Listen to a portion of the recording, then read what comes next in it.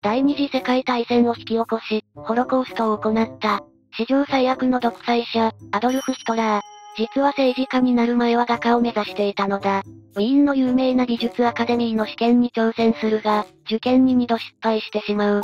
彼がもしアカデミーに合格し、画家になっていたら、歴史は変わっていたのだろうか？歴史はどうなってたんや？怖い。余計こじらせてそう。芸術業界が壊滅してた。別のヒトラー誕生。ここでヒトラーについて少し説明しておこう。彼はドイツの政治家であり、第三帝国の総統権首相。ナチス党を指導し、独裁政権を樹立し、ファシズム体制を固める、生存権の拡張を掲げて近隣への侵略を開始し、第二次世界大戦の要因を作った、ユダヤ人の迫害を行ったことでも有名である。それがホロコーストである。なぜそれほどまでに、ユダヤ人に嫌悪感を抱いていたのか、直接的な理由は不明だが、ユダヤ人の自由は徐々に制限され、最終的には強制的に収容所に送られ、100万人以上もの罪のない人々の命を奪ったのだ。美大に行ったら大学で挫折するだけやから結果は変わらん。ヒゲは？ワイより上手いやつばっかんを？コンプレックスこじらせ。得意点はむしろここだろ。政府調査員。野党筆頭が集会やってるから調査してこい。ヒトラー、はい。めんどくせえ適当なところ行ってくるか。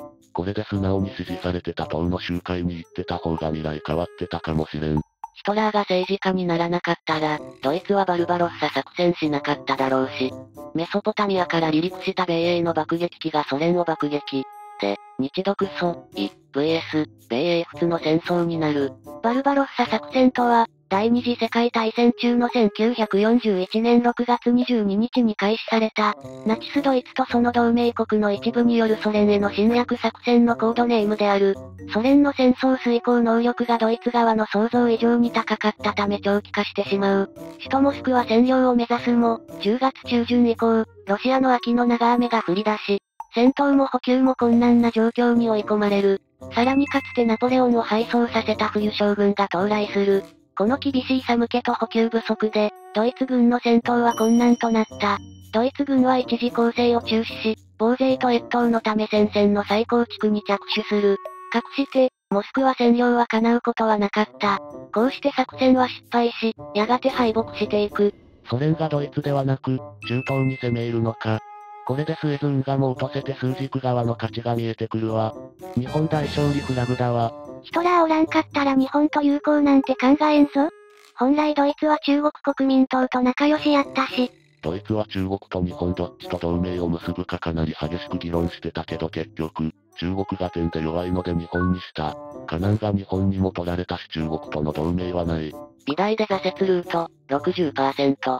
美大無事卒業ルート、40%。矢印、売れずに発狂。開き直りルート、85%。偉大なる画家ルート、15%。94%は、ヒトラー恐怖政治、育成失敗史実通り。6%が、画家として成功ルート。育成成功。やと思う。意見には個人差があります。美大合格。矢印。ヒトラー、画家になる。矢印。ナチスはできず、そのまま大戦勃発。矢印。ヒトラーの横槍が入らず、ダンケルク包囲戦が成功。英仏は、40万人の兵士を、一挙に失う。矢印、バルバロッサ作戦がないので、予定通りに米英が、栄養メソポタミアから対ソ連爆撃を始める。矢印、ソ連は対抗して、中東に陸上侵攻する。矢印、ダンケルクで兵力を失ったせいで、中東の防備が緩く、ソ連が中東の大部分を占領してしまう。矢印、スエズ運河も、ロンメルとソ連が占領して、数軸側の燃料事情が大幅に改善。矢印、逆に米英は、石油不足に陥る。矢印、この辺で真珠湾攻撃。矢印、石油不足の米英は、太平洋で効果的に反撃できずに、ハワイやミッドウェイを日本に占領される。矢印、特に、通称破壊戦されなかった日本は、計画通り、400型潜水空母を20隻くらい量産して、パナマ運河を予定通りに爆砕する。矢印、ドイツが英国本土上陸作戦ゼレーベを開始。ソ連は中東から英連邦のインドへと、侵攻開始。英国の継戦能力が落ちて、日本はインパール作戦成功。矢印、英国、中国、インドが陥落。矢印、戦艦大和艦上で、トルーマンとチャーチルが降伏条約に署名する。矢印、日本大勝利。マジかよ。日本最高だな。風が吹けば、オケヤが儲かる的なあれやな。日本大勝利とかいう収束される未来戦。結局資本主義、バーサス、共産主義って構図になるんか？多分タイムマシンができたら世界が最初に行うのはこれやろな。そうかな。ユダヤ人の虐殺はなくなるだろうけど、ソ連が数軸になるだろうし、米英の勝利が揺らぐ。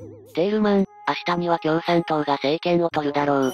ミュンヘン一致でのヒトラーの裁判演説がナチスの命運を決めたと言ってもいいだろうし、美大に行ってたら政治に傾倒するにしても時期がもっと後になったろう。一応、ヒトラーは本の挿絵とか書いて食っていた時期があるし、アートを本用にできる可能性は割とあると思う。小さい山だけで自信を得て本格的な登山にチャレンジして遭難した感じかな。だからヒトラーじゃなくても同じような人間が現れて同じことをするんだよ。ハインリッシラー、私がナチ党を率いる。こうなりそう。カリスマがないから、できても史実ほど大きくならんやろ。じゃあ誰がなってたやろか？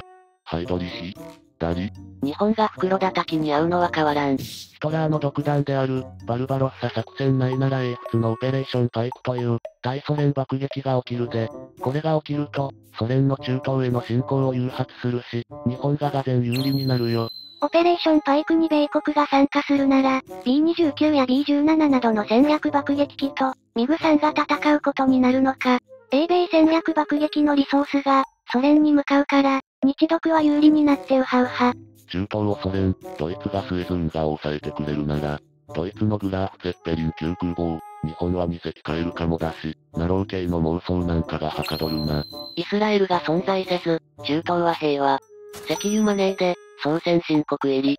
てか、日、独、その同盟なら、シベリア鉄道を通じて、軍事や資源の交流できるから、日本で作った冷戦を、バトルオブブリテンに投入可能。軍事マニア的には面白い話になるかもね。日ソの物資輸送を遮断するために、米国はアリューシャン列島に航空基地を作って、B29 爆撃機で、シベ鉄を攻撃とかね。ヒトラーむっちゃい上手やん。なんで美大に入れんかったか知らんけど。もし美大に入れてたら、ナチスはただ能力でおしまい。ヒトラーの代わりはそうおらんと思うからの。米ソの仲が、いよいよ悪くなるだけやないの。困ってしまうのは、我が国やな。味方が折れへん。日米開戦まではいかんかもしれんな。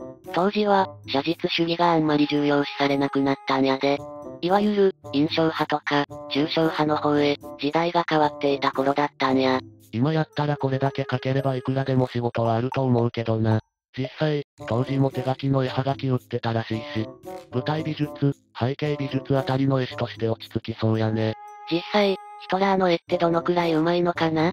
めっちゃ上手くて草。普通にいけるやろこれ。うまいやん。クソ馬何があかんかったんパース狂ってますよ。うめえ。人物が描けって言われたけど風景が出したんやっけ？人物が苦手やから課題未提出やなかったか。そら落ちるわ。うまいけどそれだけやろ。入学前なんやから普通にうまけりゃええやろ。なんで落ちたんやろな。パースがね。パースって何？トラ史上最強助っ人。パースは、オーストラリア連邦の西オーストラリア州州都で、同州最大の都市。人口は約206万人都市圏人口。パース市の人口は約9000人。西オーストラリアを代表する大都市である。スレミンたちがふざけているので補足すると、ここで言うパースとは、遠近法のことだ。遠近感を表現するための絵画の技法の一つである。趣味でやってるならうまいねえだけど、これで美大は無理でしょ。美大を受ける連中がみんなこんくらいは書けたってことやろ。ヒトラーが描いた絵っていう情報で評価してるだけ。ちゃんと残ってるんやな。これ今いくらくらいの値段するんやろうな。美大が落とした結果、ドイツが、コロナで仕事なくなったアーティスト支援を始めた理由が、過去に美大落ちたやつを放置してたら、えらいことになってしまったから説好き。草。ちえ。草。実際アーティストって、反政府に傾倒するやつ多いし、正しいんやないのか。美大受けるようなやつはこれ以上なんやろ。ここでちゃんと入学してれば違ったんやないの？知らんけど。こいつより上手い人間は5万といる。美大校長。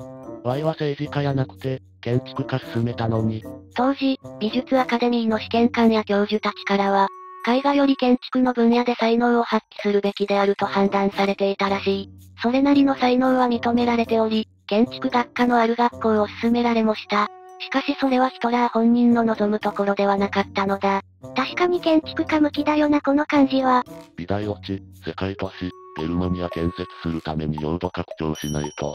一次試験は通ったけど二次試験でを準備してなくて落ちたんや。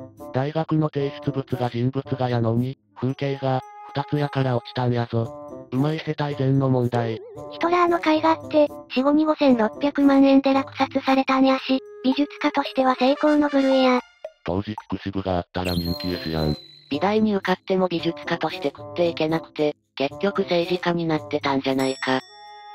いかがだっただろうかヒトラーやばすぎ、と思った人は、ぜひコメント欄で教えてね。今後も、2チャンネルの面白い歴史の話題を紹介していくので、この動画が面白いと思ったら、チャンネル登録して待っててね。最後までご視聴ありがとうございました。